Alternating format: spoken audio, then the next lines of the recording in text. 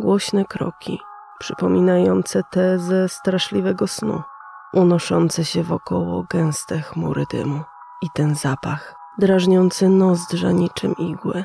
To właśnie tutaj przebywa sławny Danny Boller. Może dla was nie jest nikim szczególnym, zwykłym człowiekiem, który pożegnał się ze światem 63 lata temu, a może nawet i tego o nim nie wiecie. Ignoranci, tak właśnie by was nazwał. Lecz ja wiem, że to wcale nie wasza wina, bowiem Danny Boller został wymazany z kart historii i właśnie to zapomnienie miało być dla niego najgorszą karą, karą nicości. Kiedy wydał z siebie ostatni oddech, leżąc na podłodze otoczony swoimi ofiarami, jego duch przeniósł się do świata pustki. Ten świat w niczym nie przypominał tego, w którym przyszło mu się urodzić, żyć i czynić zło. Na początku to nowe miejsce wydawało mu się jednak znośne, całkiem do zaakceptowania. Oczywiście, kiedy uda się pogodzić z ciągłym zapachem spalenizny i drażniącymi oczy oparami do czasu. W pewnym pustym niedniu Danny Boller siedział w powietrzu i zastanawiał się, czy czas tutaj jest podobny do tego ziemskiego. Podejrzewał, że nie, ale co mu tam? Spróbował to sprawdzić. Wstrzymał oddech i zaczął odliczać dobrze znane mu ziemskie sekundy. Gdy doszedł do pięciuset, zrezygnował. Albo czas płynie tu inaczej, wymamrotał pod nosem, albo nie muszę już oddychać do diabła. Ostatnie słowo mogło sprowadzić na niego coś bardzo złego, a właściwie kogoś, kto za nic ma błagania, krzyki i płacz. Danny Boller oczywiście niczego nie przeczuwał, no bo skąd miałby w ogóle o tej istocie wiedzieć? Nie uczą tego w szkole ani na niedzielnych kazaniach. Ludzie z reguły wszystko udziwniają, dopisują własne kolory i szczegóły. Przedstawiane w Biblii piekło nie jest tym piekłem, o którym informuje się śmiertelnych. Już w średniowieczu było to miejsce tortur i niewyobrażalnego cierpienia. Za to u starożytnych Greków Hades był naturalnym przystankiem w drodze każdego człowieka. Ludzie trafiali do Tartaru albo Elizjum w zależności od tego, czy czynili za życia dobro, czy jednak zło. To zawsze zastanawiało Denego.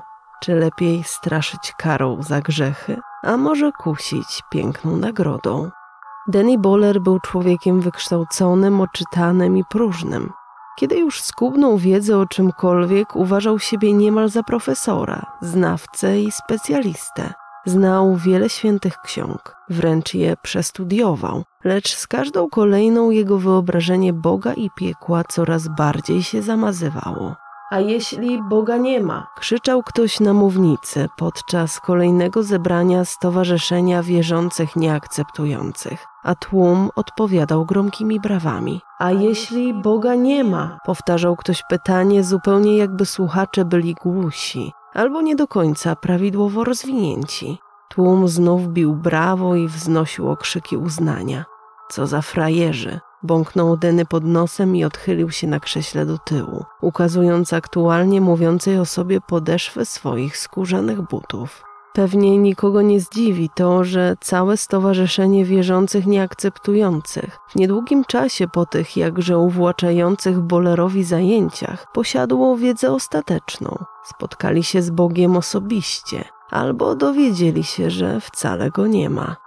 Denny ponownie wstrzymał oddech i zaczął liczyć od początku. Zachowywał się tak trywialnie wcale nie przez niski iloraz inteligencji, a po prostu z nudów. Co mógł robić w miejscu tak pustym, jakim jest nicość? Tutaj nie działo się nic, zupełnie nic. Dym kłębił się w niektórych miejscach. Ziemię pokrywał drobny biały piasek. Denny unosił się w powietrzu, ale to już wiecie. Mógł latać, fruwać, robić salta. Dlaczego więc wolał ponownie wstrzymać oddech? Odpowiedź na to pytanie jest bardzo prosta. Denny robił zawsze to, co chciał, a nie to, co mógł, i zawsze wbrew innym. Gdyby teraz ktoś zakazał mu oddychać, nigdy więcej nie wstrzymałby powietrza ani na sekundę. Poza tym odparłby coś niemiłego i to z pewnością na całkowitym wydechu. Taki właśnie był Deny, buntownik z przymusu, kiedy kazali siedzieć cicho, i ułożony człowiek, gdy ktoś wymagał od niego trochę szaleństwa. Ciemny i głupi, o ile w oczach innych aktualnie postrzegany był jako osoba mądra, a profesor życia i śmierci w momencie poddawania w wątpliwość jego rozsądku. Mógł być lekarzem, pilotem, sklepikarzem. Był naprawdę zdolnym człowiekiem. Mógł strugać w drewnie, malować obrazy albo tańczyć na szalonym byku, ale on wybrał zło, a to zło pochłonęło go całkowicie. Urodził się w Alabamie. Ta piękna okolica często przyjmowała na świat większych i mniejszych buntowników. Denny też nie zgadzał się z wieloma aspektami. Właściwie nie zgadzał się z niczym i nikim, oprócz siebie i swojej matki, Modest Boller. Modest Boller była wyjątkową kobietą, choć z pewnością nie powiedziałby o niej tego żaden z trzech byłych mężów. Co niedzielę piekła dla syna babeczki z budyniem i o ile babeczki wychodziły jej naprawdę pyszne, to jako matka spisywała się najogólniej mówiąc kiepsko. Często wychodziła wieczorem na, jak to delikatnie nazywała, spotkanie przyjaciół, co oczywiście wiązało się z nocą w klubie i co najmniej litrem wypitego rumu. Lubiła tańczyć, lecz o jej tanecznych wybrykach wspominać nie będę. Nie o niej jest ta historia, a o jej synu. Jeśli jednak ktoś zapragnąłby doszukiwać się przyczyny zła, które zrodziło się w Denem, może z czystym sumieniem obwinić jego matkę. Tego pamiętnego dnia, kiedy to Deny jeszcze musiał oddychać na ziemi, od rana nie działo się nic szczególnego.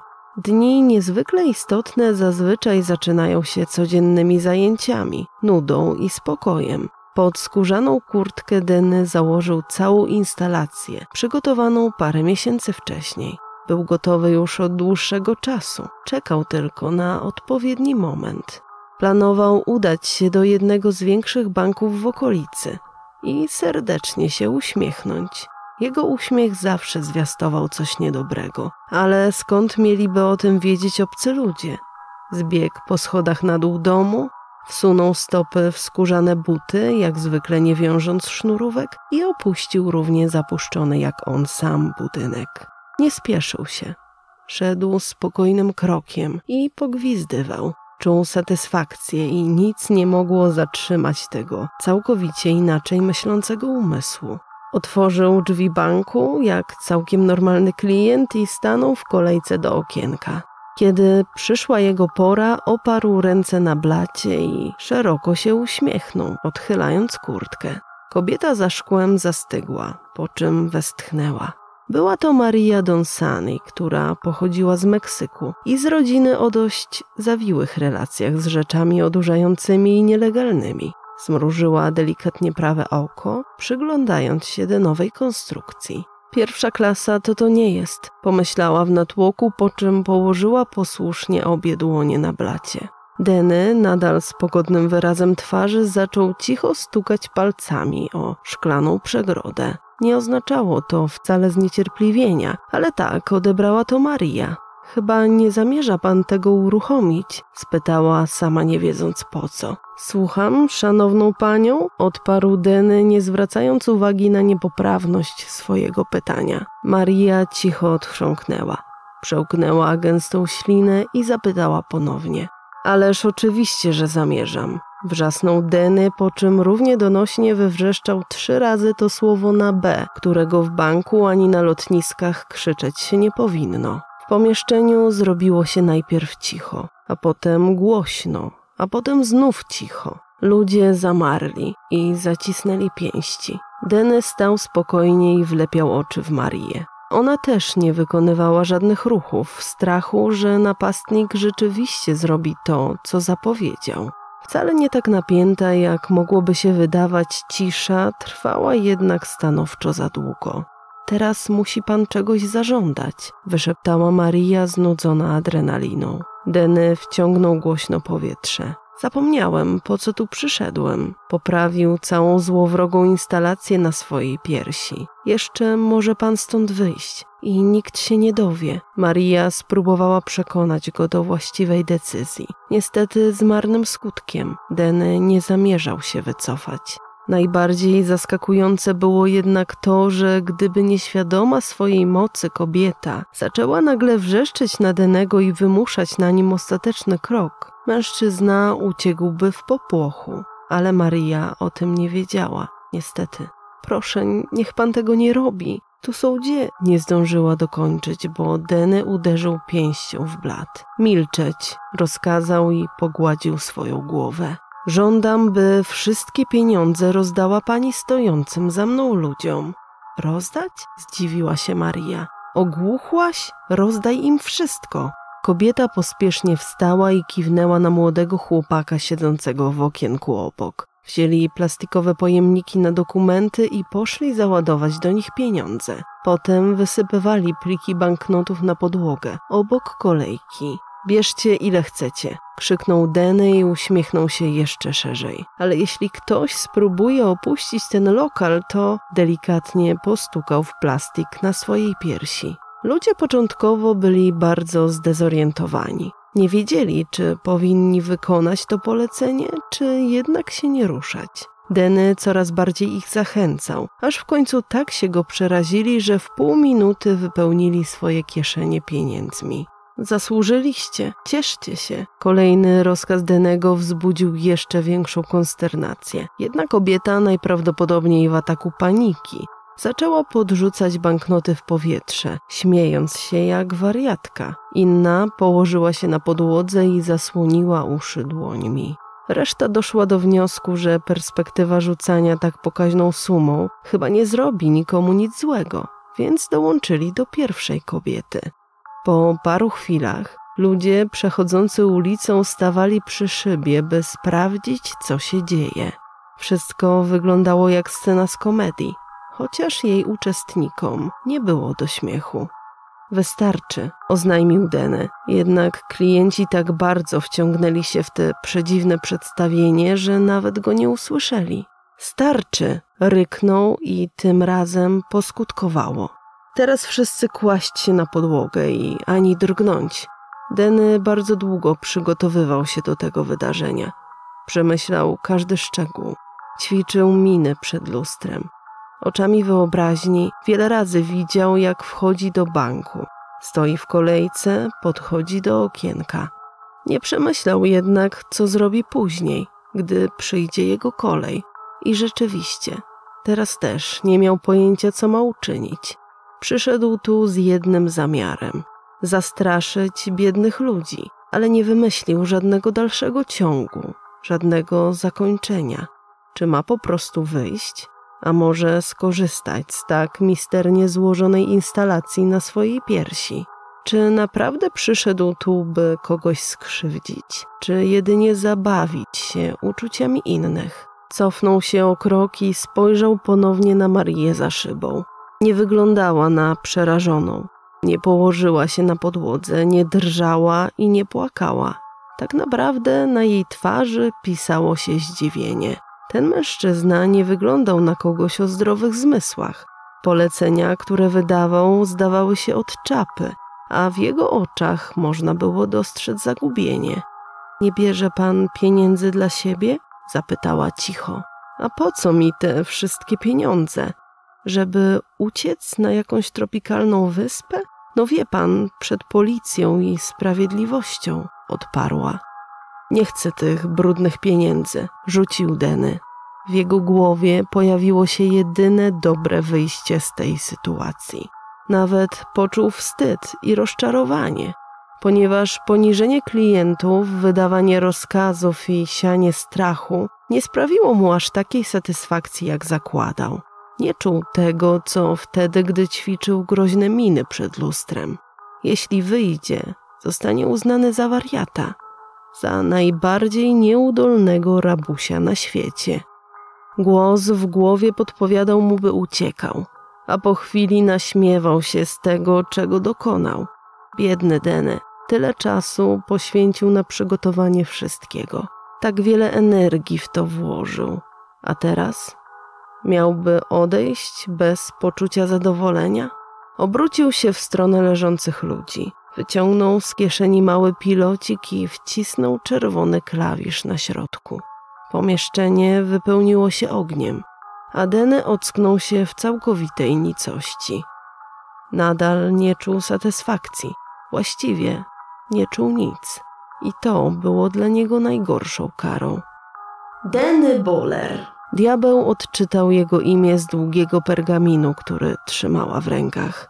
O ile sama obecność tej pięknej istoty nie zaskoczyła Denego, to najbardziej zadziwiło go to, że była kobietą. I to taką, że aż oczy same wędrowały tu i ówdzie. To ja, odparł i wstał z powietrza.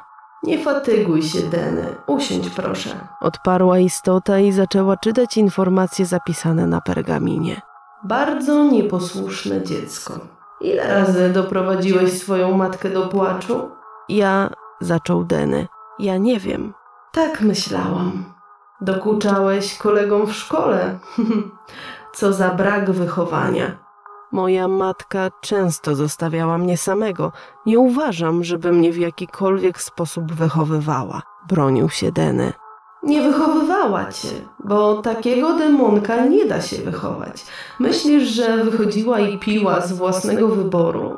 Ona już po prostu nie mogła na ciebie patrzeć, ale byłeś jej synem, jej dzieckiem. Wypełzłeś z niej więc czuła wyrzuty sumienia z powodu tego, jakie emocje się w niej budziły. I wtedy piekła babeczki. Tak, typowe. Nie chcę już rozmawiać o mojej matce, oznajmił stanowczo Deny. Nie ma problemu, Deny. Możemy przejść dalej. Od razu do banku, czy zatrzymamy się na chwilę przy pożarze biblioteki, w której zgromadzili się ludzie? spytała istota. Och, pamiętam. Stowarzyszenie wierzących nieakceptujących, czy jakoś tak. Rozgniewali mnie, wymruczał pod nosem. A czym to można rozgniewać człowieka na tyle, by odebrał życie? Zapytała z ironią. Swoimi myślami, wyjaśnił Deny. Diabeł dokładnie przyjrzała mu się spod czarnej grzywki i pstryknęła palcami. W tym momencie ciało Denego stanęło w płomieniach. Mężczyzna upadł i wił się w konwulsjach. Istota ponownie pstryknęła palcami i ogień zgasł. Skóra Denego była zwęglona, a zarazem wilgotna. Odchodziła płatami, a on sam modlił się, by pozwolono mu zniknąć. Ty już nie istniejesz, Deny. Już jesteś w niebycie. Nikt o tobie nie pamięta, tylko ja. Po chwili ciało Denego zaczęło się regenerować. Odrosły mu nawet brwi i włosy. Cały ten proces nie był przyjemny, ale przynajmniej przestało tak okropnie boleć. Czy jesteś już gotowy iść dalej? Pamiętasz o czymś, co wydarzyło się jeszcze zanim wszedłeś do wspomnianego już banku? Zanim w ogóle skończyłeś szkołę? spytała naiwnie. Nie, oczywiście, że nie pamiętam. Mam się przyznać do czegoś złego i zostać ukarany? Być może kara będzie lżejsza, kiedy sam odkryjesz swoje grzechy. Denny spuścił wzrok. Nie chciał przypominać sobie tego październikowego wieczora. I co, wpadłeś na coś? Zapytała znów z wyuczoną naiwnością istota. Doskonale wiedziała, była pewna, że Denny się nie przyzna. Mało kto się przyznawał. Ludzie mają taką niesamowitą zdolność umniejszania swoich złych występków. Po czasie wydaje im się, że ktoś ich sprowokował, że tak musiało się stać, że wcale nie zawinili tak bardzo, jak się uważa. Jednak Deny był inny. Wcale nie próbował się już bronić. Wręcz przeciwnie. Czekał na karę w pełnym wymiarze bólu. Zasłużyłem, przyznał. Istota ponownie strzeliła palcami. Ciało danego rozpaliło się, lecz już nie od ognia, a od bólu, który koncentrował się w brzuchu. Rozrywał go od środka, penetrował jego wnętrzności, wysadzał z impetem, pulsował w nim i przenosił się wyżej, aż do głowy. Dene czuł się tak, jakby nie mógł złapać oddechu, chociaż przecież wcale oddychać nie musiał. Wystarczy, proszę, Wyszeptał z dużym wysiłkiem zaraz po tym, jak przestał krzyczeć. Diabeł pstryknęła palcami i usiadła w powietrzu. Deny dłuższą chwilę leżał gdzieś w nicości i płakał. Tego październikowego wieczora, kiedy miał 17 lat, umówił się na swoją pierwszą randkę w życiu. Dziewczyna, którą zaprosił do kawiarni, chodziła z nim do klasy i była naprawdę śliczna. Zawsze zaplatała włosy w dwa warkocze, związując ich końcówki błękitnymi wstążeczkami. Niegrzeczny chłopiec, wyszeptała istota i chociaż znajdowała się od Denego w znacznej odległości, usłyszał to przy samym uchu. Niegrzeczny chłopiec. Wstała, podeszła do niego i wyrwała mu pęk włosów. Jednak kiedy Deny uniósł wzrok, zobaczył, że w jej dłoni znajduje się jasny warkocz. Poznajesz, prawda? Taki sam warkocz Deny odciął swojej koleżance po wszystkim. Potem oddalił się z parku zaraz koło jej domu. Dziewczyna leżała w krzakach i płakała, a on, jak gdyby nigdy nic, szedł dalej, trzymając w ręku trofeum. Zasłużyłem. Zaniósł się od szlochu, a ból ponownie wypełnił jego wnętrze. Mam nadzieję, że cieszysz się na nasze spotkanie, Deny. Usłyszał w środku głowy. To dopiero początek. Będziemy razem.